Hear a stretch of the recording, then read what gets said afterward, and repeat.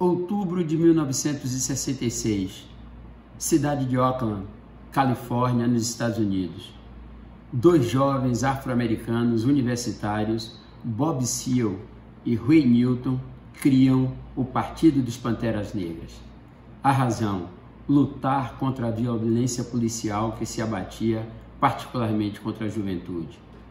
Inicialmente era apenas isso, mas tomou tal proporção, sacudiu os Estados Unidos de tal forma que em poucos anos não havia um estado norte-americano onde não houvesse uma célula dos Panteras Negras.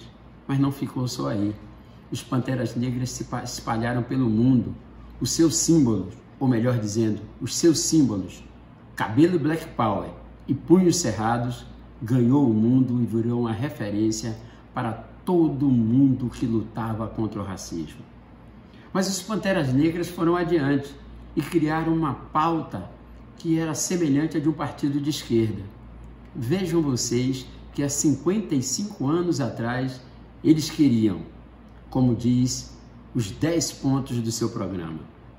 Nós queremos liberdade, queremos poder para determinar o destino da nossa comunidade negra.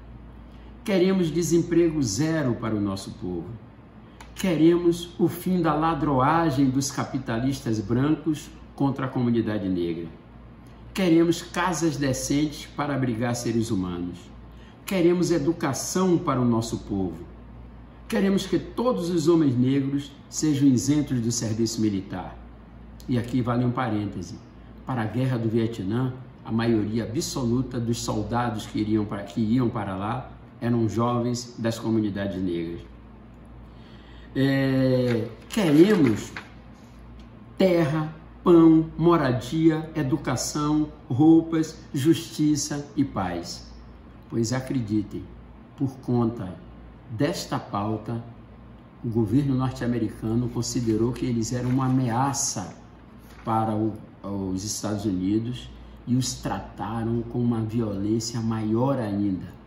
Muitas das suas lideranças foram assassinadas, outras tantas foram presas e outras tantas foram desmoralizadas publicamente por uma ação firme do FBI. Mas isso não adiantou tanto não. Nós aqui no Brasil, por exemplo, levamos essas mensagens adiante. O movimento negro brasileiro, do qual eu tenho a honra de participar, na minha juventude, tinha como referência maior os Panteras Negras. Isso quer dizer, podem até se matar as pessoas, mas não se mata as ideias. Toca a zabumba que a terra é nossa.